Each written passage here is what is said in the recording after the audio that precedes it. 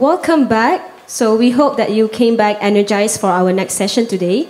We understand that the lunch might be too delicious for some of us, so we're stuck at the restaurant. So we are extending the time to end the session two by 4:15 p.m. So feel free to ask questions if you have, and feel free to, of course, just uh, come and you will need to queue. So just another slight change of plans. Um, without further ado, I would like to invite uh, Dr. Rais to come on stage for session two, titled Economic Prosperity.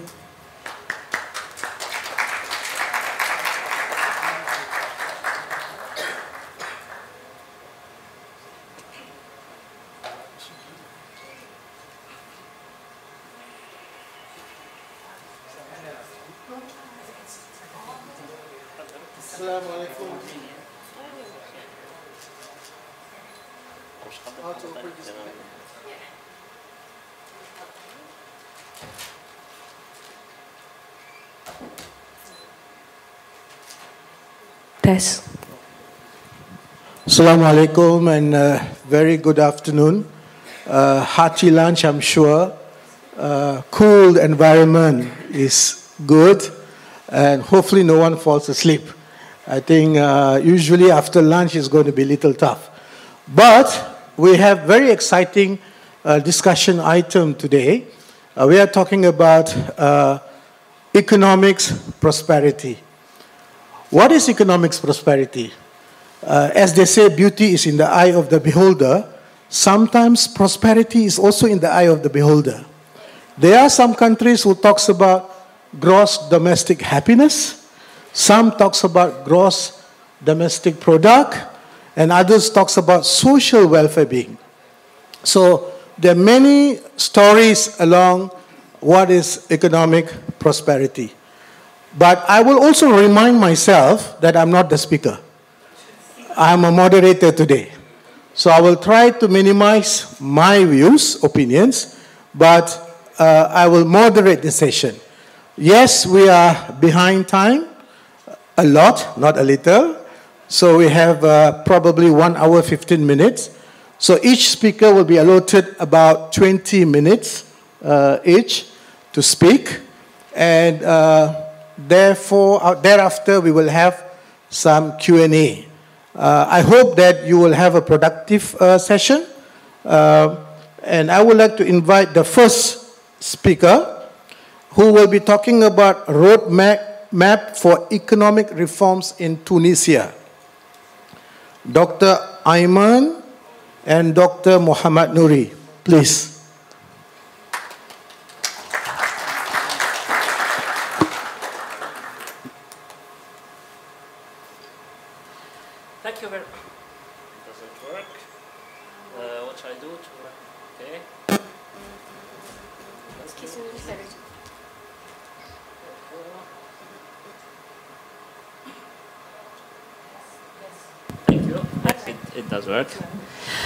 Thank you very much. Uh, many thanks for all the organizers. Uh, a special thank for uh, Atlas Network that financed this policy paper we are presenting. I co-authored it with uh, my friend and colleague Muhammad Nouri. Um, so uh, this uh, paper has a very long story. this was supposed to be the subject of a workshop in Tunisia but taking into account the political pressure uh, there, uh, the organizers decided to move the workshop here, and this gave us, uh, of course, the, the pleasure to, to meeting all of, of you, and that was, I'm afraid, a bad, a bad cause, but there are some advantages, so we are happy for, for that. So many thanks for all those who contributed to make this project possible. Uh, I, uh, the, the paper was written in Arabic and it is being translated and it will be published both in Arabic and in English uh, very shortly, at least on the website of the ILN. So I am not going to uh, dive too much in its uh, technicalities uh, because there are things I consider that are easier read than heard. I would like instead to tell you a story. So, the date is 1793. The place is Paris. More specifically, just in front of the guillotine. A lady by the name of uh, Madame du Barry, who was uh, the mistress of Louis XV, is being executed. And uh, she, she was talking with the hangman, who was in charge of her beautiful head, and she kept telling him, please, Mr. Executioner, executioner, please give me five minutes more. Please give me five minutes more.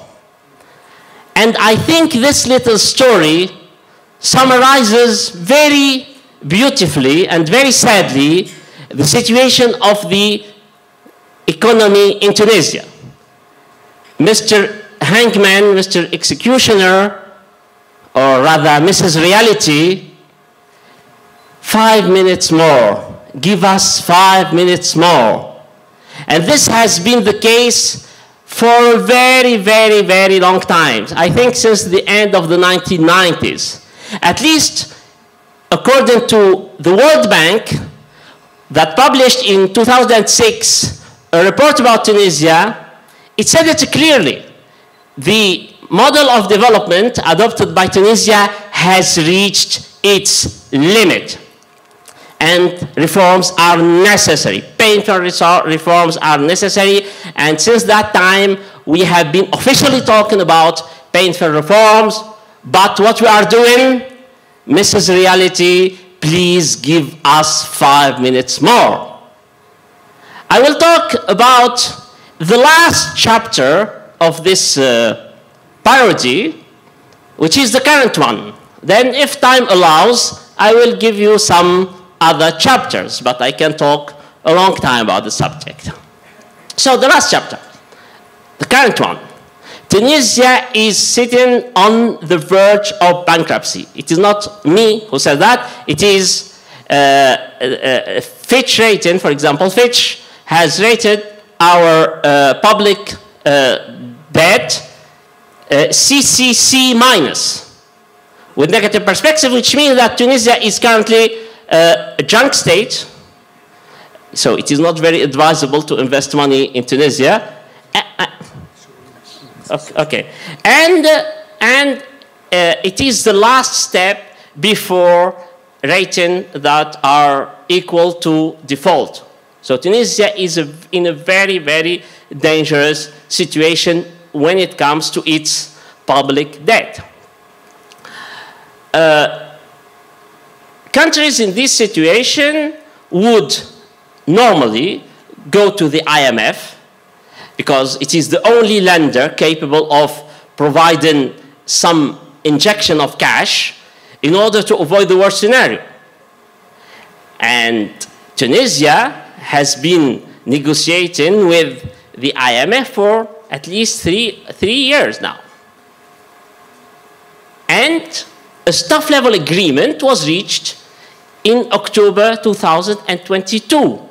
So at that time, we thought all that uh, the worst scenario is going to be avoided, at least for the, the, the, foreseeable future. But this hasn't been the case. Why? Because the president, our president, said Mrs. Reality, please give us five more minutes. The president has rejected the, um, the agreement his own government negotiated with, with the, the IMF. Why? Saying that he doesn't accept diktats from the foreign world. And Tunisia, being a sovereign country, we are going to count upon ourselves without, of course, specifying which resources he uh, uh, intent, intends to mobilize in order to apply or to, to fulfill that wish. Why Tunisia has reached this situation?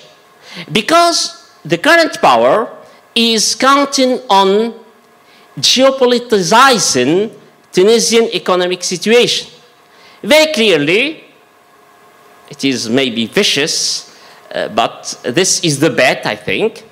Uh, Tunisian current government thinks that Europeans will not allow Tunisia to default because of the, of Euro European fear about immigration. And indeed, this bet, this very dangerous bet from the government, uh, was about to be fulfilled successfully uh, in June, in May or June, uh, when the European Union offered uh, a bailout uh, solution, alternative su supposedly to, to be al an alternative to the IMF bailout program. And what did Tunisia do? Give me more five, give me five minutes more. Because, of course, this bailout, solution or bailout program, European one, was conditioned by, uh, first of all, a strong engagement from the Tunisian government against illegal immigration. And, of, and very, very surprisingly, it was also conditioned by, on, uh, it was also conditioned by the, uh, the Tunisia reaching an agreement with the IMF. So, again, Tunisia is saying the famous, the famous word, give me five minutes more. This is the current situation. But why Tunisia has reached this dangerous cliff? Because I think we have a structural problem, a deep structural problem. Tunisia is a net importer. It has always been a net importer because it imports energy, it imports food, and it imports machines. Tunisia has been compensating for its uh, for the uh, negative uh, trade balance it has been running. It has been compensating for that through its services, especially its tourist its, its, tourism, but also through its uh, relatively rigorous management of its public finance before 2011. The problem that these two conditions dependent on one factor, the stability of rather dictatorial authoritarian regime. In 2011, this regime fell, as you know very well, you know the political story, I think. It is very famous. The economic story is less famous because it is much more infamous. Indeed, Tunisia found itself um, torn between difficult choices. of course, tourism was par partially lost because of the instability, so that there were less resources and this is very important, social stability was lost. And social peace could only be bought through government expenditure, through public exp expenditure, through government intervention. So the government became, the state became the employer of last resort, so it accepted many, many, many workers it did not need, uh, it, uh, it, uh, ex it, ex it extended its expenditure to support uh, state-owned enterprises to save them, to bail out them. Uh, it uh, increased its subsidies, especially in terms of energy, etc. So this situation meant that resources were decreasing and, and expenditure was highly uh, increasing. How did Tunisia manage to pay for that? Very simple, to borrow. And this, the result of that, that Tunisia could uh, uh, uh, uh reach an unprecedented level of its national debt. It is currently around 85%, something like that, more or less 85% of our GDP. External, yeah. And it is mainly external, it is, it is an external debt, which means that we have to pay for it in hard currency. How did Tunisia succeed in uh, convincing lenders to give, to give uh, these finances? Through its democratic reputation. The problem that this democratic reputation has been lost since 20, the 25th of July 2001 uh, and uh, 2021, sorry. Now, in addition to this structural problem, we have a very deep, I would call it cultural problem, a mindset. This mindset is related to our anti-liberalism. Tunisia is one of the most anti-liberal countries I, I, I, I, can, I can imagine in terms of its culture. Its elites, most of them, consider that the word liberalism itself is an insult. I have many, many colleagues who, who tell me, uh, Ayman, you have to defend yourself. People speak of you and they say that you are a liberal. So I have to defend myself against that. And this meant that when the revolution came, political liberalism that came with it in the form of democrat, democracy and democratic means was mixed with uh, an anti-liberal culture that meant that the economy was a kind of taboo because there was a, a kind of I, I don't know how to call it because it is very strange. Everyone agreed, there was a consensus, that Tunisia needed to change its uh, model of development. But having said that, no one would tell you exactly in which direction we should go. Why? Because everyone knew that realistically, the only possible direction we should go is a kind of, a kind of social liberalism with a market-driven economy uh, and uh, to encourage enterprises, etc. But no one wanted to do that. Certainly trade unions did not want to do that because of their interests and because of the dominant discourse that prevented such a direction. Uh, intellectuals were absolutely against this, this way because uh, they, uh, by adopting anti-liberal discourse, it was easy for them to adopt radical positions while uh, uh not doing anything. And politicians were fearful of any steps that went against public opinion. How much time? Have I got? Five minutes. Five minutes left. Okay, so this meant that revolution in Tunisia was interpreted in a mixed, in a mixed, under a mixed light. Uh, we were for democracy, but we were against liberalism. And this is, I think, a very problematic situation because, frankly, I don't know anything else but liberal democracy. The term illiberal democracy, I don't really know what it does mean.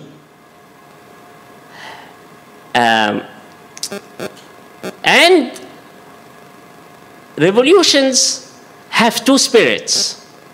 The first one is anti anti privileges. The first one is the second one is pro privileges. The first one says we have to be equal, so we have to fight against privileges. The second one says we are equal, so we have to share privileges. And I don't think that I am overstating the situation when I say that Tunisian problem was that the second spirit over dominated Tunisian experience. We were all trying to find some ways to share privileges rather than to be fighting against privileges. This situation can be summarized in my first statement. Mrs. Reality, please give us five more minutes. We did not want in Tunisia to pay the price of a change. We did want to have democracy. I think that most people wanted democracy, but we understood democracy in a very totalitarian way. We thought that democracy meant an overarching state that would uh, go everywhere uh, to uh, promote its presence and to provide people with services. And when some voices said that what we are, what we should do is uh, to move from this mindset, to move from a state that wants to do everything in order to have a state that gives more opportunities. When these voices were, uh, were trying to make an argument, they were simply accused of being liberal, and that was enough to discredit them in the eyes of the public. So our paper tried to find a kind of compromise between what the people want, what the people need, but what reality dictates in order to overcome this trap of please, Mrs. Reality, give us five minutes more. Thank you very much. We have five minutes more. Thank you, Dr. Ayman, uh, for not asking five minutes more for the conversation. I never asked for five So it was an interesting uh, presentation and discussion of what's uh, going on in Tunisia. Uh, I think some of the experiences are shared across.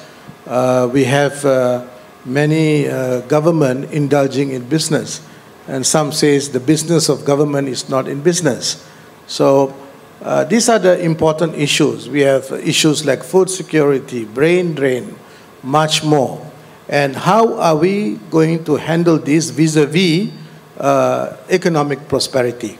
So next uh, will be Dr. Mustafa of Turkey. He will be talking about free markets perspectives from Turkey.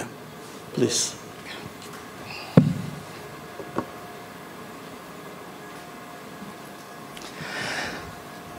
Assalamu alaikum wa rahmatullahi wa barakatuh. Uh, dear my colleagues, dear friends, I would like to start with extending my appreciation and gratitude to organizers of this meeting, Dr. Ali Salman, uh, Tasneem, and all others, for making this event possible. This is my second visit to Malaysia. Uh, I have friends living here. Uh, after so many years coming back from United States after finishing PhD studies, I met my dear friend Dr. Remli Mustafa from Malaysia last night, who picked me up from the airport. So it was nice to be with you again in this country.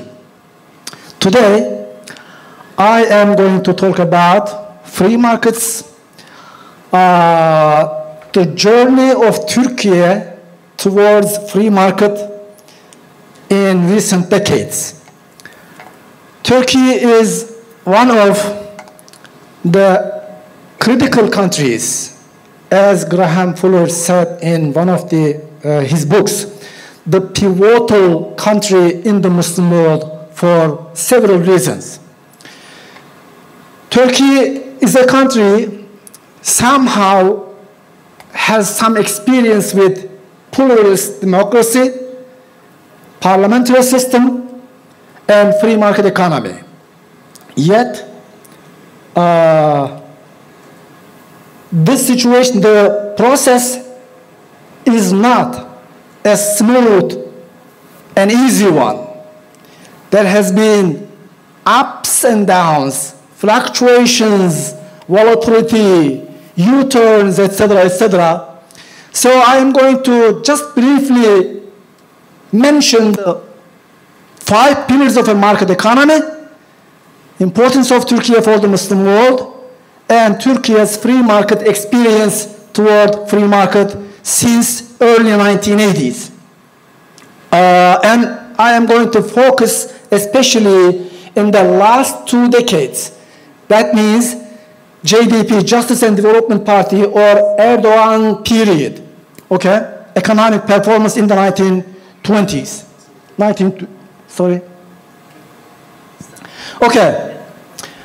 There are, my dear colleagues, friends, two main perspectives regarding as to the fundamental questions, economic questions on who is going to decide on what to produce, how much, how to produce, for whom to produce, how do we organize economic activities, who is going to decide, the state, government, or some state planning organization or politburo or a central agency on behalf of the public, or are we, individuals, entrepreneurs, consumers, and producers, will decide on what to produce, how to produce, for whom to produce? So, uh, if, if individuals, entrepreneurs, consumers, or producers will decide on answering these fundamental questions, we are talking about a free market economy. If, on the other hand, state planning organization or government or central planning is deciding, then we are talking about a command system as opposed to free market system. So there are basically five main institutions of a free market economy. Private property, freedom of choice and entrepreneurship, competition that is free entry and exit to the markets, Free trade with internal or outside world, doesn't matter. Limited government. In the end, we can talk about supremacy of the consumers in a free market economy because the demand created by consumers will decide on what to produce, how much, for whom to produce, and how to produce. Okay? So, uh, I am not going to go into the details of this you know, Islam versus free market economy because I think it will be main theme of uh, tomorrow's sessions. So they will talk about in detail. But in my opinion, my dear friends, there is no incompatibility or hostility between Islam and free market economy. They are perfectly compatible and you can find many uh, verses from Quran and from you know, uh, hadith supporting the basic tenets, main institutions of a free market economy. Okay? Now let's talk about Turkey's journey toward free market economy in recent decades. Founded in 1923, after the collapse of Ottoman Empire, which collapsed after at the end of First World War, Turkey has been founded in 1923, okay? Turkey is a pivotal country in the Muslim world because it has a very strategic geographical location, just intersection of Asia, Africa, and Europe, at the intersection of three ancient continents. With 85, more than 85 million people, with uh, uh, about 90 $100 billion of GDP with GDP per capita of around $10,000. Okay? And also, Turkey has very special historical, political, social, cultural, and religious relations with ancient, you know, uh, Central Asian republics, with the Arabian Peninsula, Middle East, North Africa, and the Balkans. So it's a very strategic country. So the experience of Turkey toward free market economy would be somehow a role model for the rest of the Muslim world.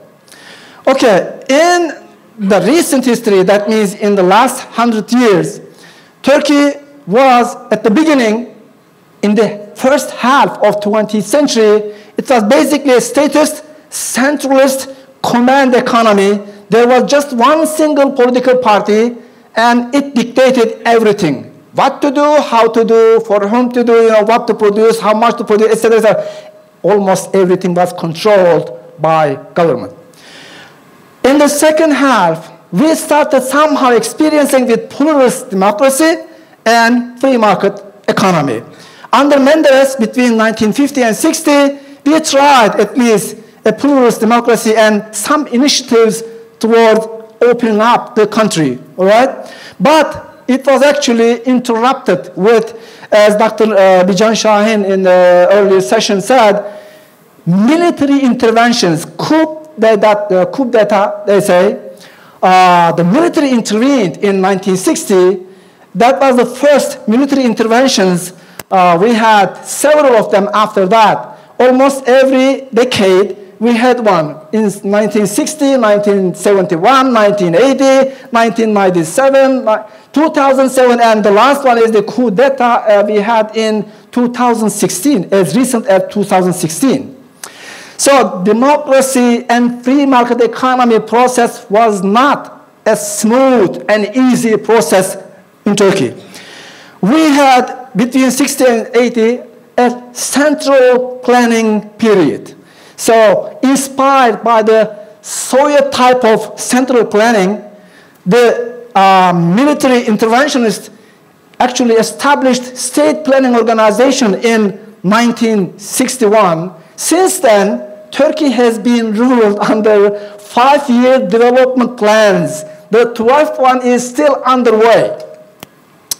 And uh, Özal period, Mr. Özal, late Mr. Özal, was a critical period, a turning point, if you like.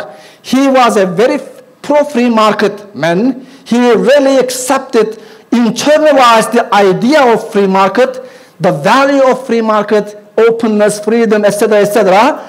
So he was the one actually who really initiated the free market process. Uh, in 1970, sorry, 1993 and 2002, I would call it a lost decade because it was back to the command economy from where Özal, you know, left. And we can divide Erdogan period into two within itself. Justice and Development Party has been ruling the country for the last 21 years, that is last two decades.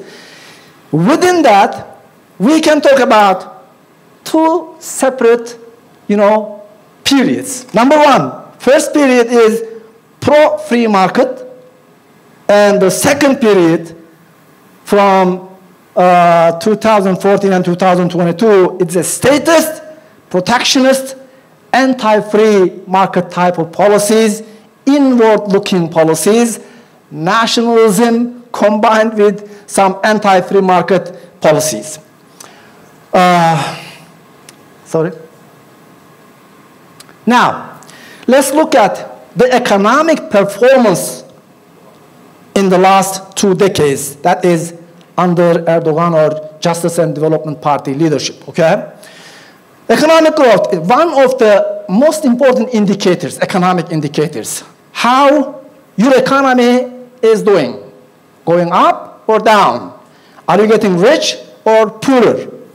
Now, as you can see, fluctuating economic growth has been fluctuating in the last two decades. Uh, this one is the year where Turkish economy hit the greatest economic crisis in the recent history. And uh, this one is the uh, global economic crisis, or the mortgage crisis, if you like, uh, in 2008 and 9.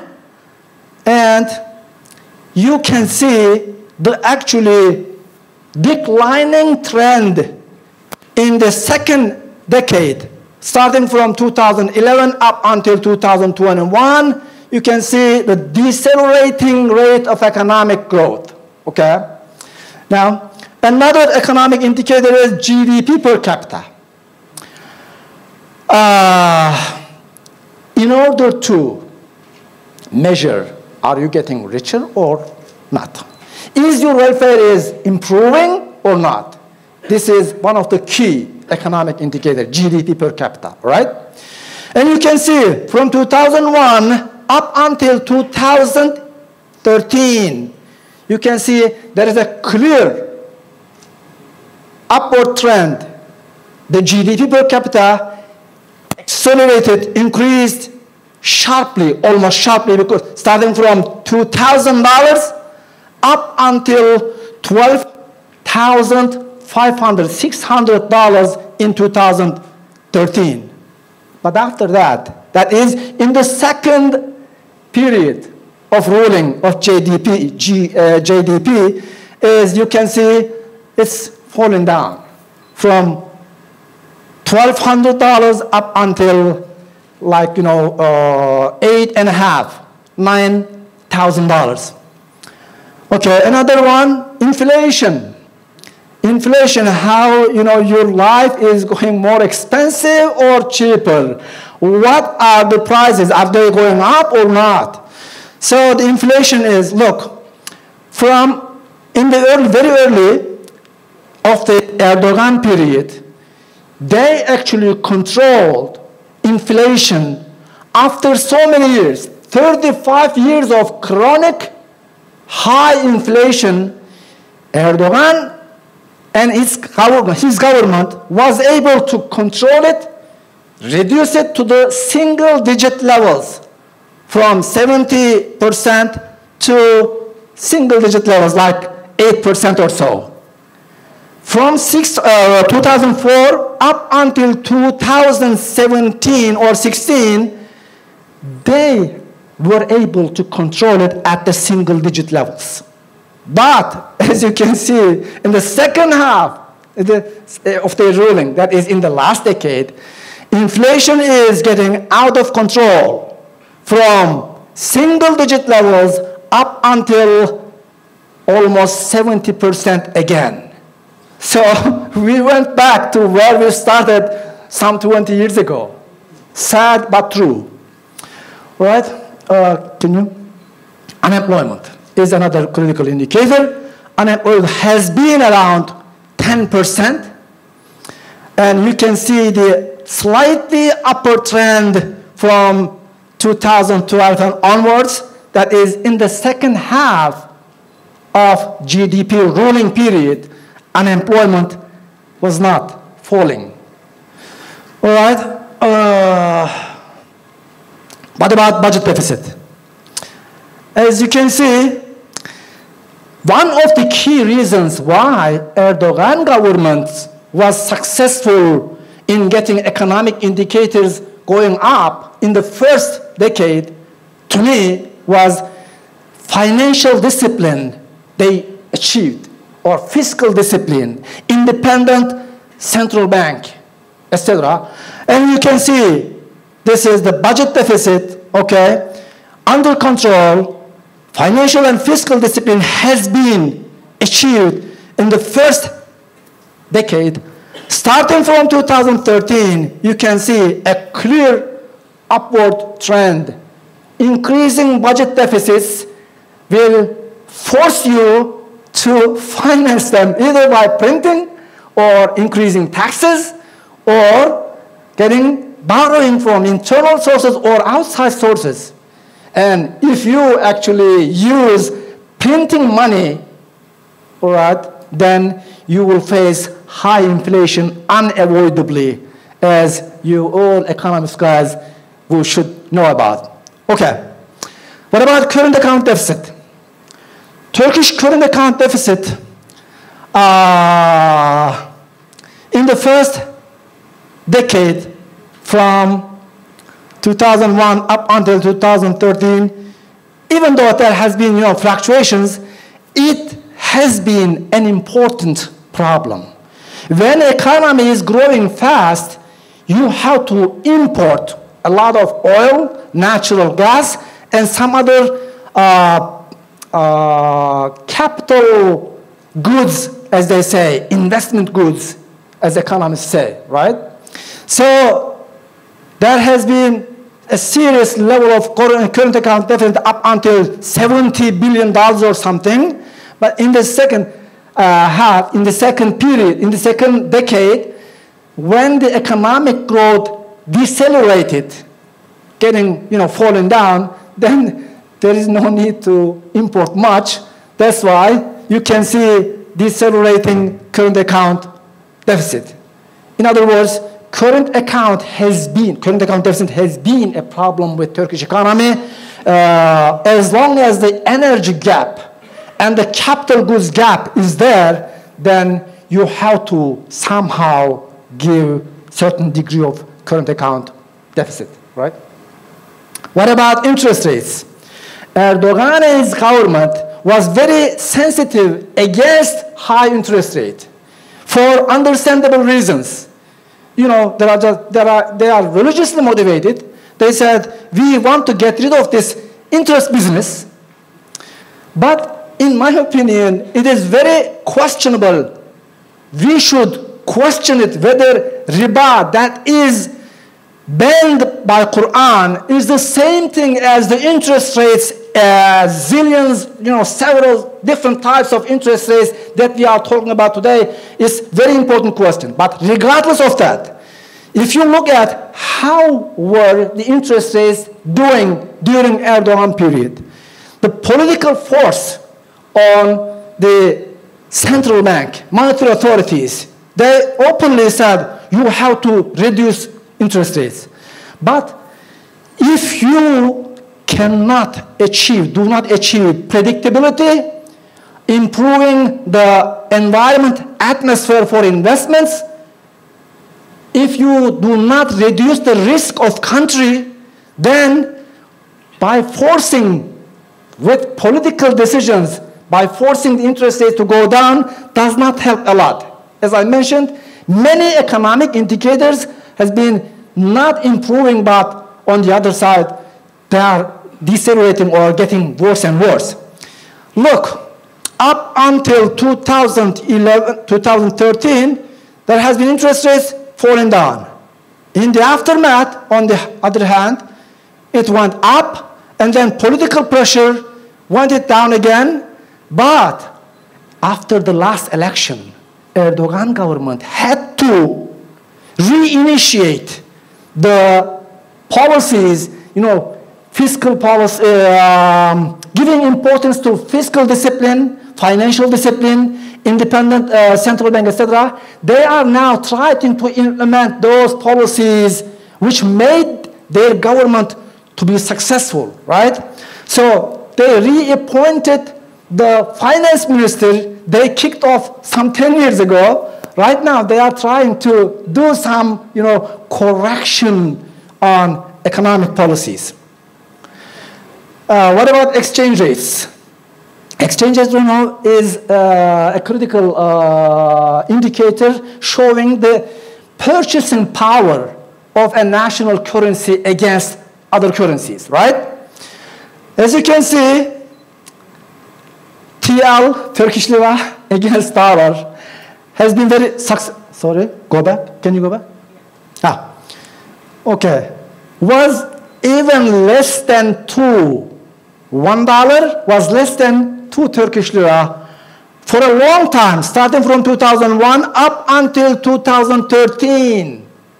And after that, uh, for you know several internal and external factors that I would mention if you like, Dr. then Dr. Mustafa, yes, your time is, Five minutes. no, is up. Done? Nicole has been trying to ask you to stop. But please, anyway, please give me five minutes.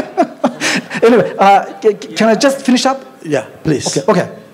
Uh, go ahead. Change it. Okay. FDI inflows are falling down. Go ahead, please. And you can see clearly that when economic policies are pro-freedom, free market economy, economic performance is quite high. When it is anti-freedom, anti-free market, inward-looking policies, then the economic performance goes down very clearly. Same thing, okay, please. Same thing here. So, just in one sentence, for a country, in order to improve welfare, improve economic indicators, free market, outward looking policies, reforms, political as well as economic reforms, certainty and bringing the country risk down is very critical. If you are uh, following pro-free market policies, the economic indicators goes up and vice versa. Thank you for listening patiently. Thank you so much. Um, uh, Turkey with uh, many data points and in the interpretation of those uh, respective data points. Uh, I think uh, there are two elements uh, to it. we also have to consider, we're talking about economic prosperity. Whatever doesn't bring economic prosperity, it brings impoverishment of the nation and the society, like, for instance, corruption. corruption is a big problem everywhere. We in Malaysia recorded the largest uh, kleptocracy case in the world. And uh, recently uh, we released a study that we have lost 4.5 trillion ringgit over the last 26 years uh, through corruption and leakages. These are worrying things. So corruption is, is a big issue, yeah? The second, uh, I hope somebody will touch on this, is the geopolitics and geoeconomics, the changing geopolitics and geoeconomics. Uh, we used to have a very unipolar economy world uh, with the US and EU uh, leading the charge. Now we have something called BRICS. South Africa just uh, in, uh, concluded those meetings. there were original five, and six just joined them, 17 waiting uh, to be also uh, joining them. So given this geoeconomics, geopolitics, uh, issues that impoverishes the nation, I think uh, it is also important to touch on these issues. Yeah. So I hope uh, with that I would like to invite uh, Dr. Mustafa to talk on Algeria and Muslim world from economic perspective 2011 to 2019. Interestingly, I had a conversation with him over a coffee just now. So without further ado, please, and it's 20 minutes, yeah? Thank you very much. Thank you very much. Nicole is, uh, will be waving a flag to you. But um, I have a lot of feeling. I'm coming here uh, in front of you, but uh, I hope to speak because my in Algeria we speak French, not English, and it will be it will be for me easy to speak that in French. That, euh, je pense que je dois remercier tout le monde ici présent pour votre participation, les organisateurs. Et je trouve que votre pays est vraiment splendide. Because we had, hein? Ok, yeah. Donc euh, c'est vraiment un pays beau, des gens gentils, les femmes belles et la verdure. Vraiment, c'est un pays euh, splendide et et je pense que les Malaisiens sont heureux pour ça. OK? That's uh, to explain my feeling uh, directly.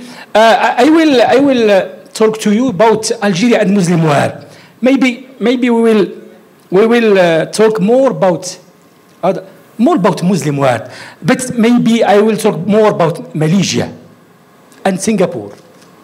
And, and last, we will look what happened in Algeria. And the perspective is from, because the organizer, Mr. Ali, I will thank him that he invited me. Then he, he asked me to think about Arab Spring, but it's from economic freedom I. Then we have looked to freedom, economic freedom, and from Muslim world. And data are recently. huh? Let's move, uh, wait, yes. Let's move from some, some questions, like some puzzles. Because uh, we have, we have some, some questions to ask. Because, for example, why we, we, we have a lot of uh, countries in Muslim world, they have lost oil and gas, like some in, uh, in Arab uh, Muslim countries, but they have, they are bad in economic freedom. Hmm? Like Algeria, my country, and Iran also. For example, Algeria, Tunisia, Egypt, they are not free, even after having this Arab Spring. Why? Uh, Mus- but Muslim Asian countries are doing very well comparatively to the Arab world, but they don't have any, any Asian Spring. There is some things uh, not so. Why, why Asian Muslim countries are better ranked in economic freedom than Arab countries? And especially better than the Republic, Republican. We have monarchy are better than Republic. And I think this country is doing good because he have king, I think. Uh, let's talk about what is what means uh, economic freedom. Please, uh, the organizer, help me help me to to find the, the times. Please tell us, because I have to organize myself. Hmm? Please, let me each five minutes you will uh, tell me about. Then, what me uh, what we, we, we mean by it, by economic freedom. The main the main idea is about personal choice, voluntary exchange, open market, defined and clearly enforced property right. This is the main issue. Individuals are economically free when they are permitted to choose for themselves and engage in voluntary transaction as long as they do not harm the, the person of property of others. This is the main issue, the main idea. Okay? And it's quoted. What is the pillars of economic freedom? And I, I, I am based here on the Fraser Institute. You, you, you can easy check in Google Fraser Institute. You have we will find a lot of data a lot of ideas. Okay, and I have used mainly the Fraser Institute report for this paper. Okay, that means four things. The size of, of government should be small. The rule of law should be respected. The, the money should be sound. The trade should be free. And the market should be free. Credit market, labor market, and business market. Okay? And we will, we will see uh, what, what means by measuring self-government. The, the, the idea here is that when more the government take taxes, spend money in consumption and investment, and have ownership of assets, less people will be free to use their money, talents, and times to make opportunities for them, for them and for their families, and for other peoples. Countries with lower level of, of government spending, lower marginal taxes rate, and less government investment and state ownership of assets earn the highest rating in the composing component of economic freedom. That means this explains the idea of if a country is free, that means the government is doing less, less in economics, less company owned by the, by the government, less taxes, and less involving, less involving of uh, state in the economy. Another idea, well, another idea, it is about legal system and property. Here, is, here the main idea is about the rule of law, protection of the person and the rightly accused property is central element of economic freedom. Many would argue that is the most important function of the government. The government, the main issue it is to protect a, a rights of people, the property of people. Okay? Uh, the legal system had to, to be secure, give security to, to property rights. Huh? Judiciary should be independent. a court should be impartial and the police should be do good work. Then in this uh, ranking, we will give you the, the results. Countries with economic and commercial law, securing propriety and with independent judiciary and reliable police will have high rating. Okay? It's like, it's like explaining what the words. The sound money, that means low rate of inflation. Okay? The bad money is when, when the government print money. It's not sound. And freedom, uh, uh, when, when we, the government uh, protects uh, the economy, that means don't that the, central bank don't permit to the government to print money. Okay? That's the idea. Another aspect it is trade. Country will have good economic freedom. That means he is open for trade, low taxes, low tariff, etc. Okay, it's uh, it's easy idea, I think. Uh, uh, free of markets, the market of credit, labor, and business. Regulation that restricts entry into the markets and interface with the, the freedom to engage with innovator exchange, reduce economic freedom. Countries with regulation, regulatory restraint that limit the freedom of exchange in credit, labor, and doing business will have low rating and ranking. Okay? Not easy. Our sample, I have choose from Singapore because uh, in this uh, conference we said Muslim countries and beyond. Beyond, I have chosen Singapore. Singapore because it is championed in the world about, with Hong Kong, about in uh, economic freedom. Okay? Singapore is the best example, it's the champion. And we will, we will compare Muslim countries with this champion. Albania was, was chosen because it is the most free Muslim country. Okay? Malaysia and Indonesia, because they are the largest Muslim countries. Okay, it's very important. Algeria and Tunisia and Muslim Sunni countries, because we have the, we have, they have experienced Arab Spring. And we look at what happened after Arab Spring. Iran, a Shia country with a lot of oil and regional impact. Bahrain, Sunni country with, without oil. Turkey, a Muslim country without oil but with global impact. But we will see in the ranking, Turkey is not doing very well, even with a lot of impact. Okay? Uh, look at that. Here it's very important. Look at Muslim country compared to other countries. We have a, in, uh, in, this, uh, in this uh, report, like uh, all countries we have, most free countries, 42 countries. Partly it's 80, 80 uh, country. Last free, 40 country. Look at how many Muslim country in this category. 26, 24, two country most free. Look at the percent of Muslim country in this, in this last free. 65% of Muslim countries are not free.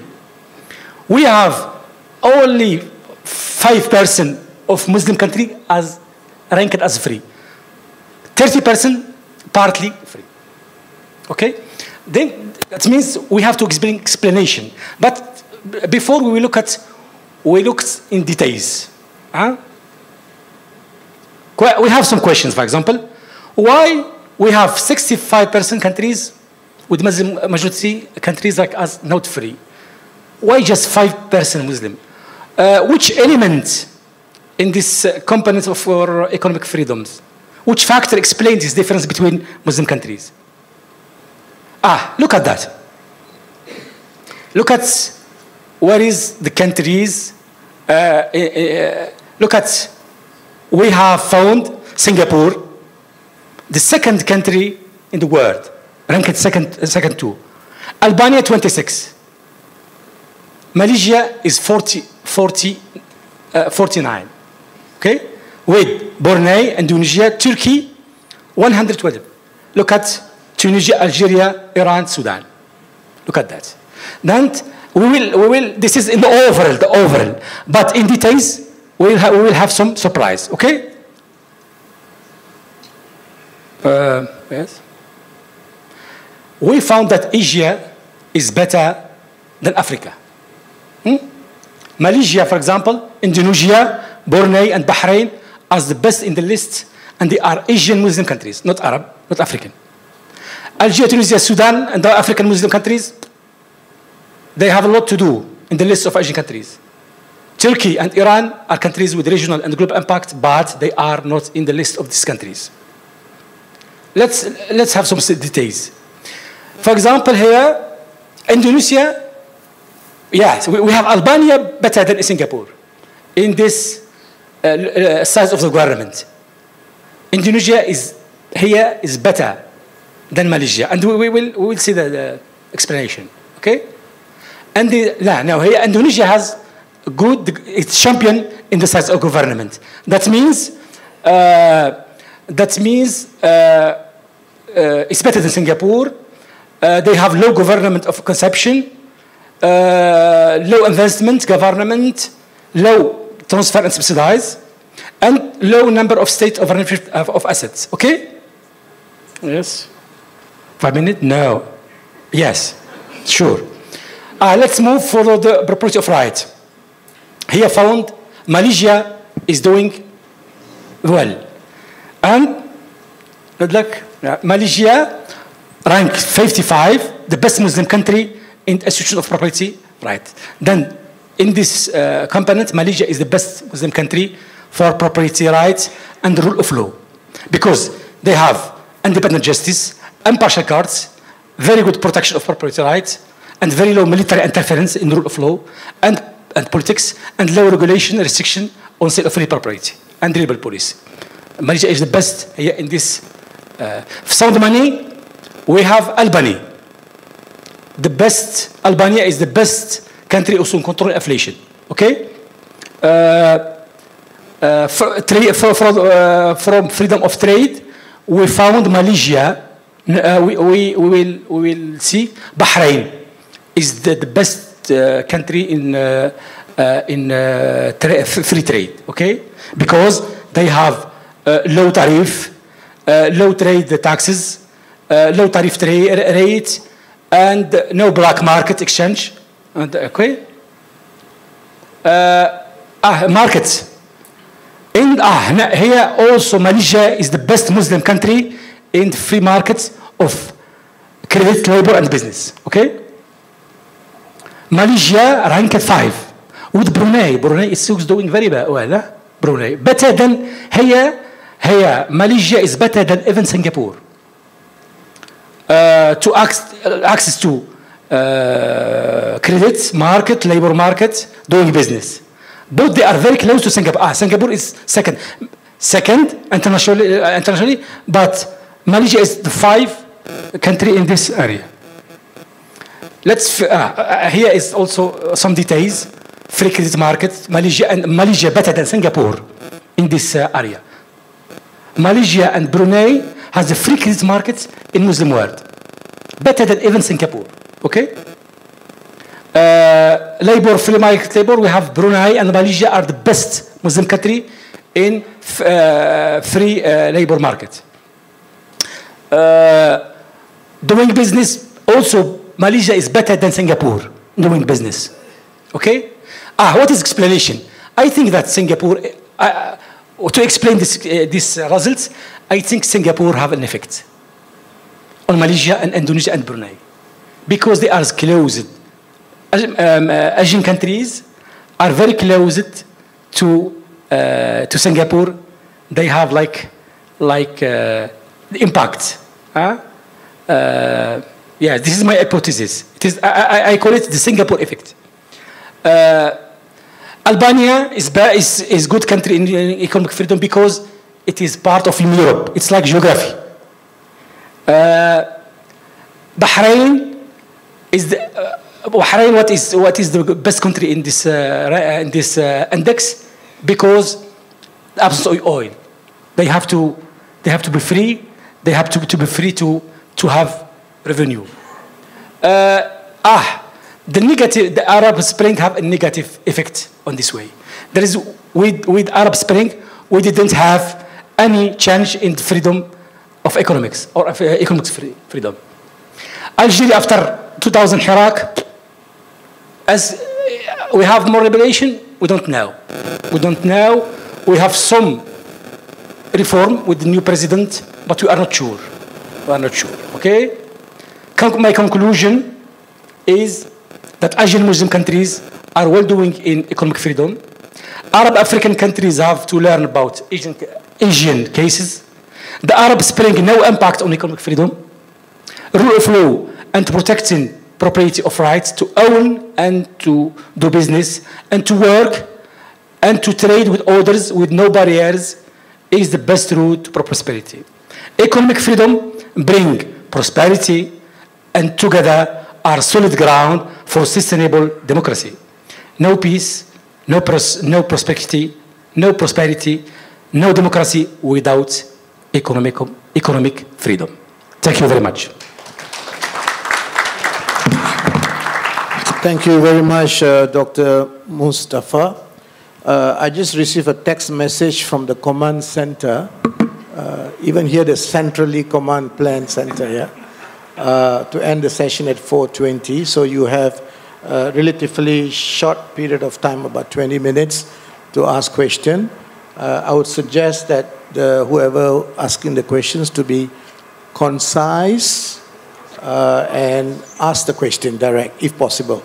Uh, good to introduce yourself as well. So can I have the first? Okay, go ahead.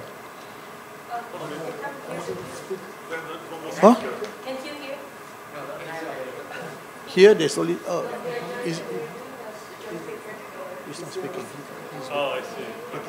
It's joint thing. It was right, a joint thing. So we can continue. Okay, question? Uh, question answers.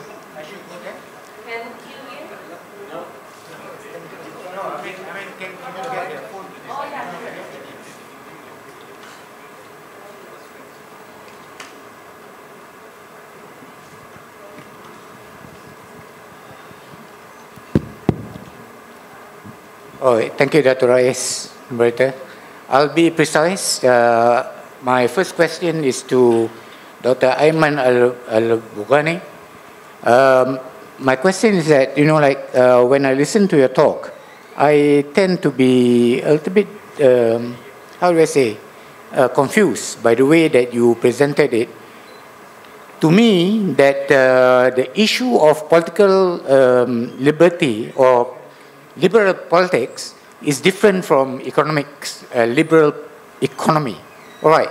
So the way that you presented your talk just now was that you're trying to say that you know, uh, uh, political uh, liberal uh, politics they are the same as as liberal uh, economy. And I, I, I think that you know you have to differentiate between the two. A person can be liberal in his political perspective, but can be totally against the liberal economy itself. It is, it is not the same. And this comes to the second question to you, uh, Dr. Mustafa, uh, with regard to your, yeah, no, not you, the, the Turkish Mustafa. Yeah, the Turkish Mustafa. You know, like I saw a lot of slides, right? Everything about GDPs and stuff. But the thing that you're missing would be the Gini coefficient. You know, the, the, the, the issue with liberal economy is that in liberal economy, people have uh, argued that the sys- when, you talk about GDP, you might be true, right?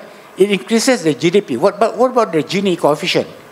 The difference, the, the differences in the what you call the poor and the rich, right? What is the Gini coefficient? Because the arguments against your liberal economy and in any liberal economy in the world is that you are creating a greater uh, differences in Gini coefficient. In that, the rich will get, be getting richer and the poor will be getting poorer.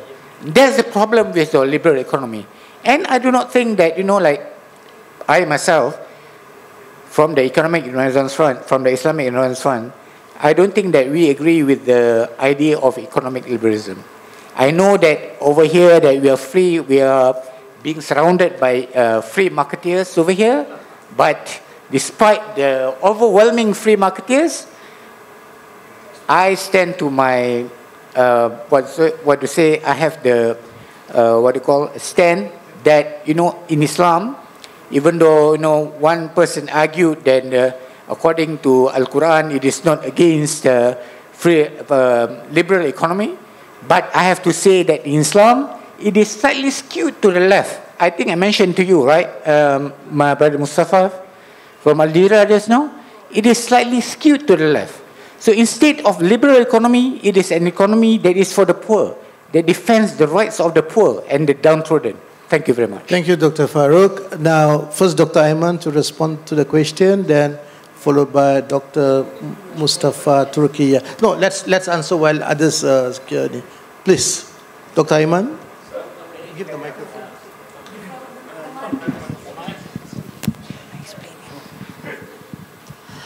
Um, I think I will answer very simply that I disagree. I disagree that uh, political liberalism can be separated from economic liberalism, and to be more precise and even to say it more strongly, I think that some political, uh, some liberal, uh, uh some liberal economy is possible without liber political liberalism. In other words, uh, free markets can, uh, at least in short run, prosper under a dictatorship. But I don't think that a, a, a liberal, a political, liber, political liberalism, I mean democracy, can prosper without liberal, uh, without liberalism in, in economic terms. I think that uh, that the, and we have we have many examples.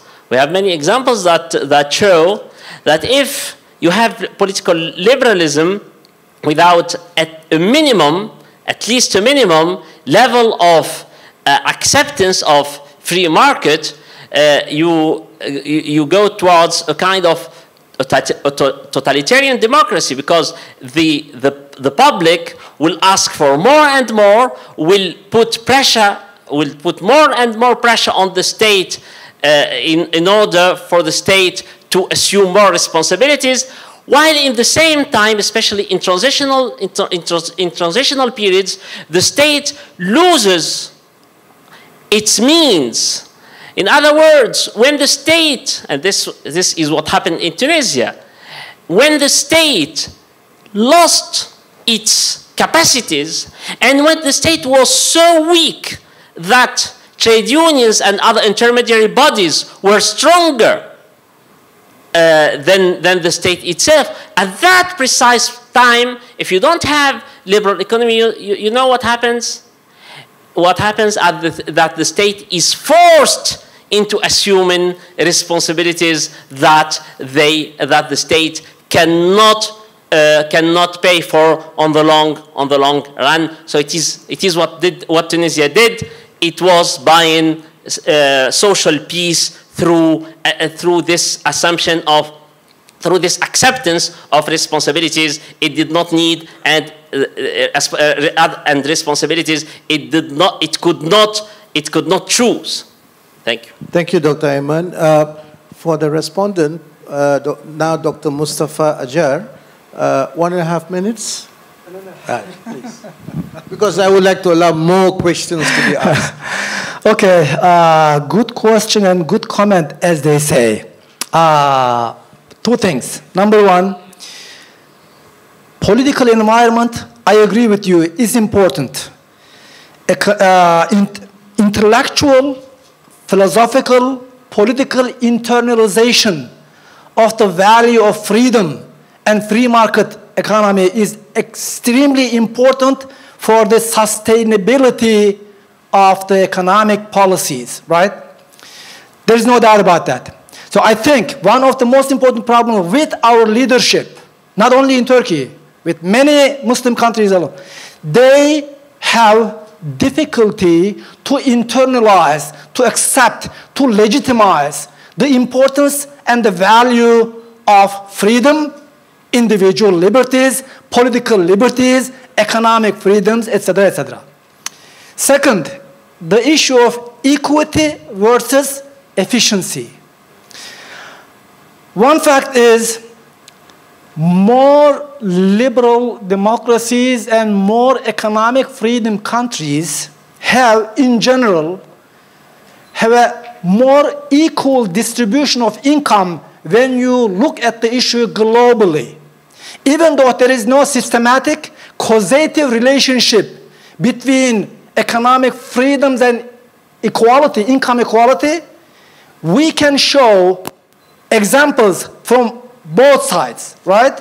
So there are countries with economic freedom with higher level of equality and vice versa. So there is no uh, causative relationship. We can see examples from each side. Plus, in the first decade of uh, Turkey, the, where the Erdogan's government and the JDP party's economic performance is going up, Gini coefficient, which measures the degree of inequality, income inequality, were actually falling down. In the second decade, it is going up again. Uh, and lastly, are you uh, demanding, do you want equality in poverty or inequality in prosperity? That is very important question. I would personally prefer inequality in prosperity, where everybody is doing fine, more or less. Because communist regimes, socialist economies were much equal in terms of income distribution than the liberal democracies and economic freedom countries, but they were equal in poverty, not in prosperity. Thank you. Thank you. Next question. Uh, maybe- yes. Thank you. I will- Assalamualaikum. Next question. Um, thank you, Dr. Rais Hussin. Salbi Ahmad. I am not an economist, okay? So I'll put it out there. Uh, as a human rights activist, maybe some 10 years ago, we had a lot of issues concerning structural adjustment in Asia, South Asia, and this arose out of the free market. So my only stint of trying to understand is Joseph Stiglitz, formerly of World Bank, and he turned his back on World Bank to critique the free market economy. So I, I'm, I'm making a comment. I'm sure you have your answers, but we are not dealing at arm's length in a free market economy. And how many of our countries in the South have paid dearly for this? Thank you. Okay, But you don't, that's a rhetoric question. One speaker to respond. Any one of you? For the question. Okay, go ahead, please. Thank you very much. My question is the following for all of you, especially to Dr. Ayman. Uh, um, do you mean by what you said that democracy thrives only in capitalism, in capitalistic system? If we don't have capitalism, democracy doesn't work. And the problem of these elites in the Arab Spring, they failed to find a new model because they, they didn't have enough courage to say what we need is a capitalistic. You remember all of you, uh, Weber. Weber said capitalism is the only rational uh, uh, um, system. So that's why it succeeded. We have a, a bureauc- bureaucracy and personal bureau- bureaucracy and legal bureaucracy because we have capitalism. So shall we really have this, uh, this uh, uh, mutual relationship? I mean, um, we have the design, the market design, the way, for example, the European, the East Europe, the post-Soviet, for example, uh, uh, transitions, they, they, they were working to find this, um, this uh, balance, if you want. Many of them have failed, and many have succeeded, of course. So for us in the Arab Spring, shall we really put in front of us this balance?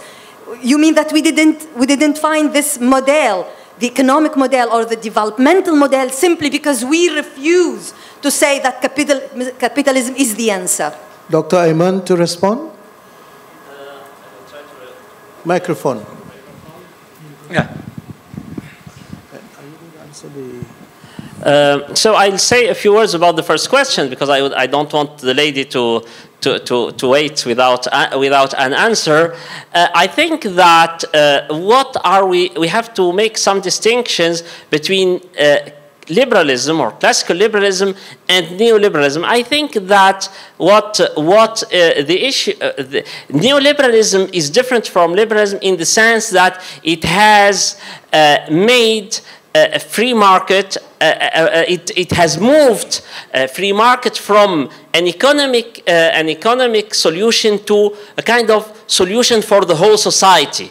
We moved from a market economy to a market society, if you wish. And that is dangerous and that can be criticized. It, transfer, it transformed the, uh, uh, the market into a norm for, for society, and that, of course, is to be nuanced uh, with, with, some, with some care.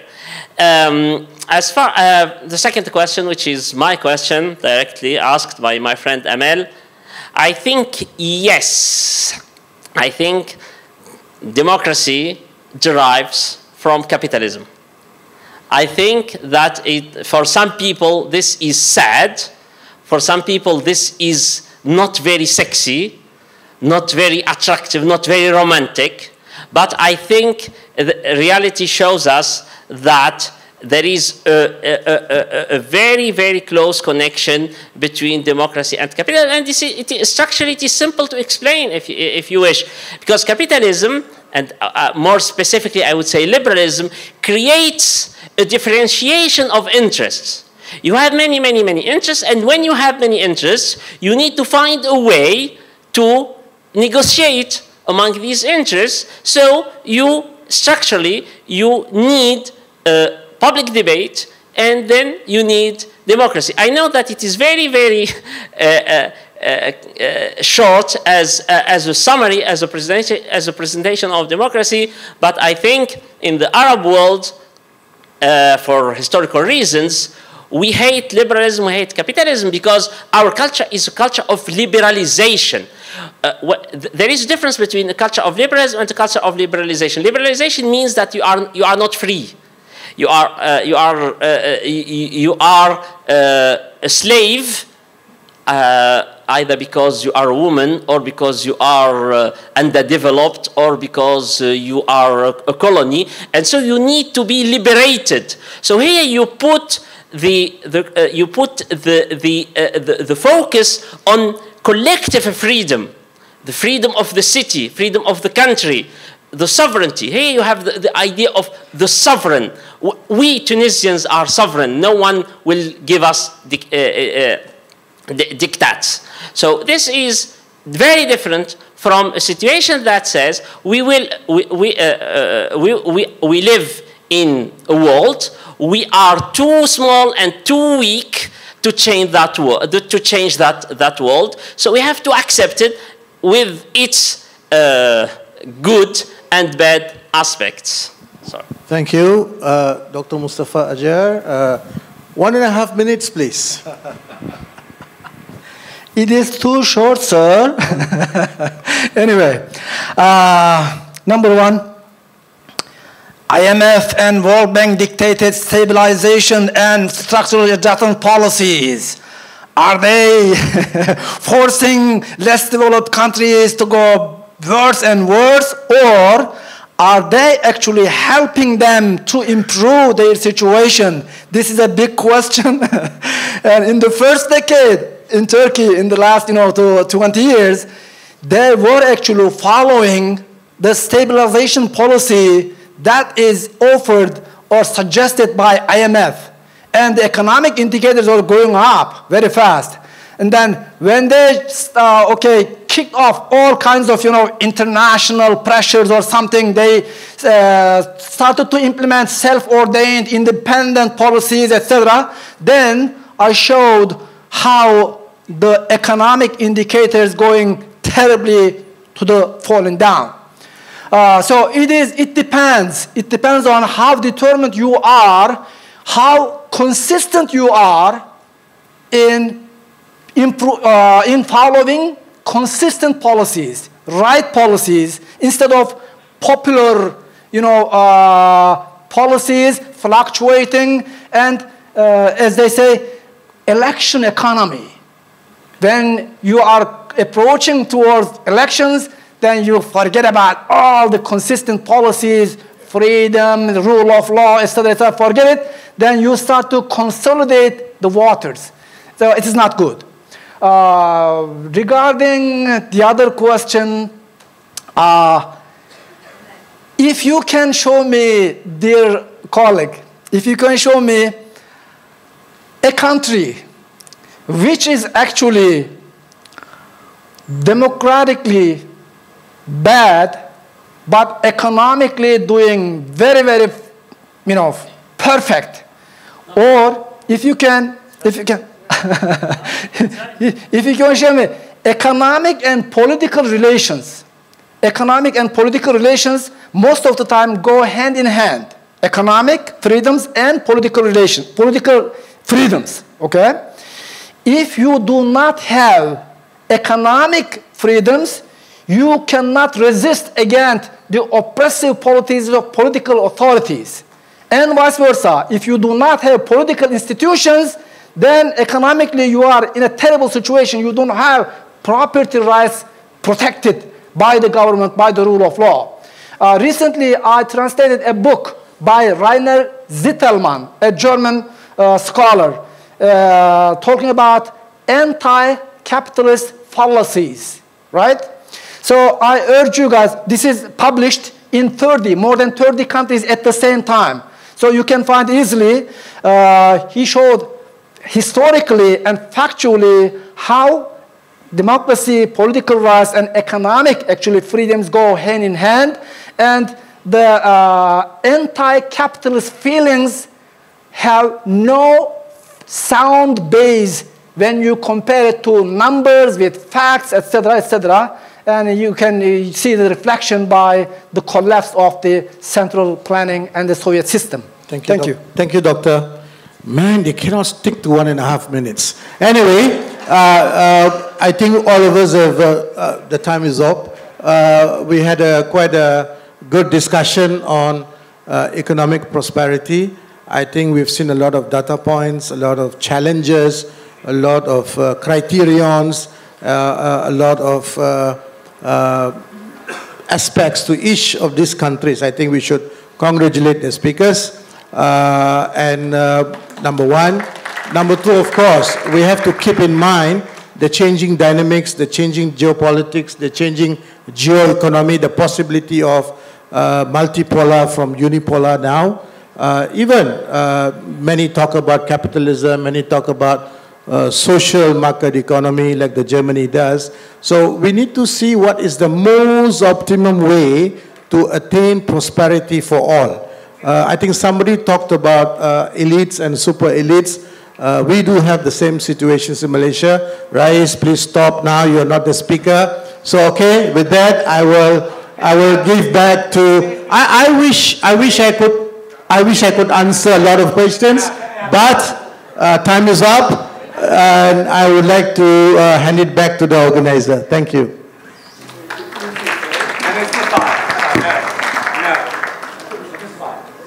Thank you, Datuk Dr. Rais, and all our esteemed speakers for the wonderful session. Kindly remain on stage. Now, I would like to invite Yang Amat Mulia Tunku Zain Al Abidin Ibni Tuanku Muhriz, founding president and chairman IDEAS Malaysia, accompanied by Mr. Ali Salman, Chief Executive Officer of Islam and Liberty Network Foundation, on the stage to present the token of appreciation. Thank you. Hold on. Hey, how are you? Good to see you. How are you? Thanks. Hi.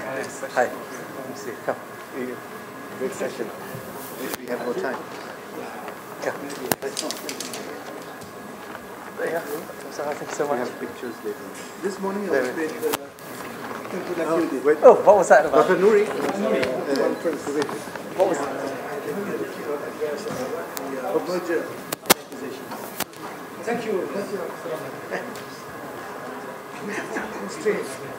Strange. You don't know, know, this lady has been I'm sorry, I was about to do this. Uh, please stay first with for a group photo.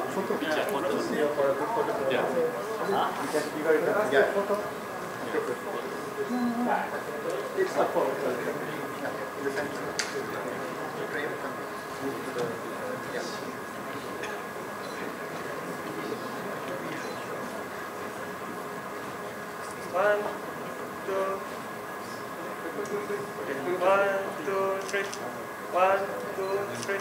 Nice. Sorry, another one, please. Sorry. Thank you. Thank you to Kuzin and Mr. Ali Another one for Ms. Abdi. Yeah, yeah. Bring it. I have one. Look for you. But that's tomorrow, no? Uh, yeah, but you, you said. Okay. Okay. Today as well. Today as well. Okay. And with the same. The same? Okay.